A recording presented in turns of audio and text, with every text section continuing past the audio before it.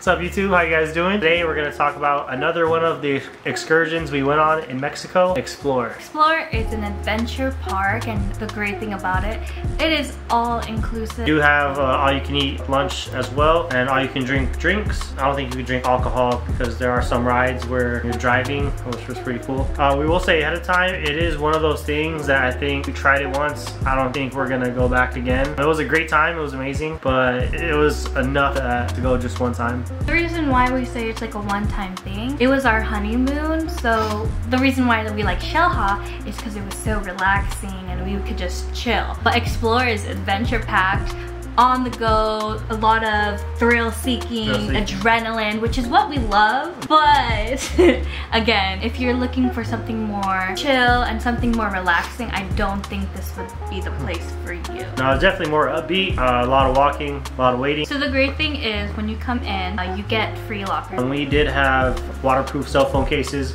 highly recommend waterproof cell phone cases if you want to take uh, pictures and videos while you're inside all the attractions, especially in the water. Uh, you had to wear a helmet at all times. So you had a helmet, they even gave you a wristband that's linked to the helmet, and they had a similar thing with the way that Xel-Há had it, where there's tons of photo opportunities all around the park. There, you'll see a, a sign that says scan here, you'll scan your wristband, and then you have a couple seconds to, you know, to pose for a photo. Also, when you're on the rides, your helmet like scans at a certain area so that there's pictures of you mid-air on the zip lines. And just like Xel-Há, all these pictures are for one price. You have the chance to take take as many as you possibly can so you can get the full uh, money's worth. The photos were, were amazing. I do like some of the photo opportunities. They had pretty cool, funny stuff that you can take photos with, like different like cavemen, you know, cave women. First thing we did when we got there was we tried to do the amphibious vehicles. The reason why we did that is because we did not want to wait in line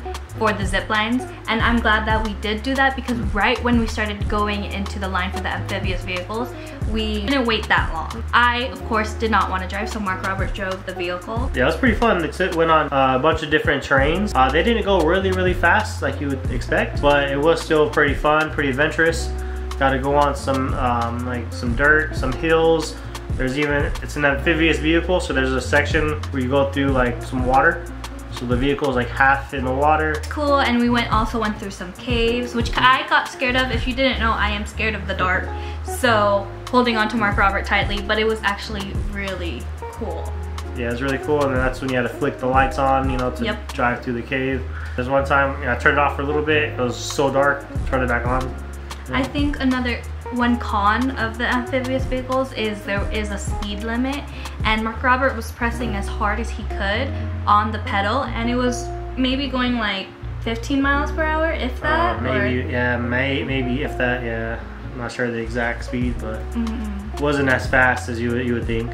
But also with the amphibious vehicles I think you're only allowed uh, two rotations on that ride. You're only allowed to go twice so just keep that in mind but honestly, one time was enough for us to experience that. Next thing that we really like, you know, no matter where we go in the world, we always talk about wanting to zip line. And here and Xplor, I feel like we've got our zip line fix for life. Like there's uh, two different zip line courses. One of them is longer, one of them is you know shorter than the other. Um, the shorter one contains like two or three you know different zip lining zip line sections. You know it, it was pretty cool. It was fun. Uh, the longer one I had multiple. I want to say what was it 7 mm -hmm. Like seven. Like you zip line from one post to the next. Then you wait a line. Zip line to the next one to the next. Wait a line. You know for seven times. And man, that was really oh my god, that was so fun. It was so exhilarating. It was just awesome. How was your experience with the zip line? I agree. I just hated the walk up. There is, at one point, it was just a constant uh, circle, like what is that, a spiral going up, and that was deadly. I was huffing and puffing, but I did lose a little bit of pounds that day. But it was really fun. We did try to ask if we could go together, but I think you're only able to go together if like weigh a certain amount. Uh, we both thickums, so we couldn't. Uh, we did see two girls, like two teenage girls, yeah, being able to ride together, or they were saying if it's like a parent and a young child, usually that's the case of them going together. So if you are going with friends and you guys do weigh maybe below 300 uh, combined, try to go together. I think that'd be a fun experience. But um, I did like the fact that some of the zip lines, me and Mark Robert could go at the same time. We might not have been together, but we at least got to zip line at the same time. Also, another thing with the zip line uh, was a pretty cool experience. They also have, uh, they call it the hammock splash. So same thing, it's a zip line as well, but this time you're you're on a hammock and you go, start super high, you go down until you land in the water. Oh my god, that water. That was so fun. So you sit in the hammock. Actually, you grab the hammock um, and you take it up to like a couple of steps. Mm-hmm. Um, and then you have to, they hook it on for you and then you sit on and you just go. And it was an amazing experience because you're just chilling and then the water just splashes on you. I think me and Mark Robert both got videos of us on it. Mm-hmm.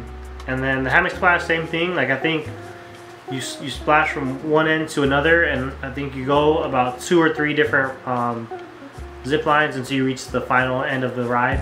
So that, that was pretty cool to have those different experiences. Next up was the rafting. Uh, that part was actually, uh, was it? It was fun. It was annoying, annoying irritating. Hectic. But it was a good experience because you could choose to be on a tandem raft or just a solo raft. And of course, you know, being the married couple we are, uh, we chose the tandem raft. And there was a sign that said, I don't know the exact words, something along the lines, if you do not want a divorce, then uh, go on the single raft. When you go on there on the tandem raft, they give you these um, hand flippers, both you guys have, and you both have to kind of paddle your way through it and you have to coordinate with each other so that way you're turning and going at the right speed and turning to the right direction. You know, one person, you know, turning the wrong way and, and uncoordinated, you'll just be lost and not be able to go directly to where you want to go to. It's funny, we actually saw uh, like an, an, older, older couple. older couple just yelling at each other, mad, angry, just they just could not coordinate with it. I mean, Rachel, we. I think we did pretty good. Yeah, we did pretty good. We had a couple moments, you know, a little frustration, but nothing too bad, right? And I know, and that water, oh my god, that water is so cold, and part was a cool experience. And it was a nice little natural body workout, so uh, be prepared to, you know, expend some calories. So, lastly, they had the underground river, uh, which was a pretty cool experience. And for the most part, you can walk across the water unless you're, you know, below average height. You, know, you might uh, need to swim a little bit.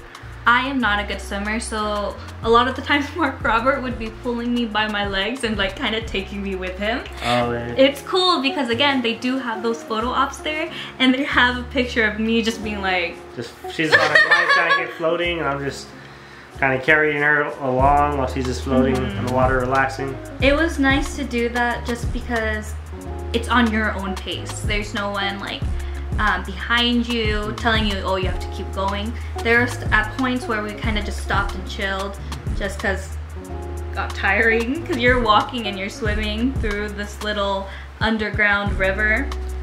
And they had certain sections where they had like little obstacle like ropes. Some people like crawled on top of the ropes, you know, crawled to the other side. Um, I decided to just swim underneath and try to get all the way across, which was an adventurous, fun thing to do. The cool thing about the underground river is that it led to this obstacle course where it led to the slide. We did get to go on the slide together, which was so fun. Uh, going towards the slide, that's it had more obstacle courses if you wanted to. Yeah, so Explorer was pretty uh, a cool spot where we were able to experience every single attraction that was there but that is all for our Explorer video. I hope this does help you guys if you decide to go to Xplor and you wanted to know a little bit about it. I hope we helped you on that journey.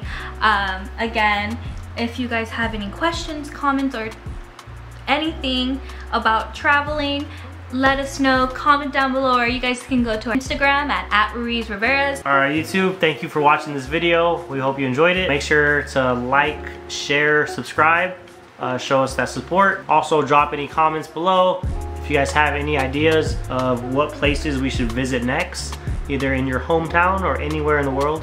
Uh, we'd love to uh, go and visit there. So, all right, thank you, YouTube. You guys have a blessed day.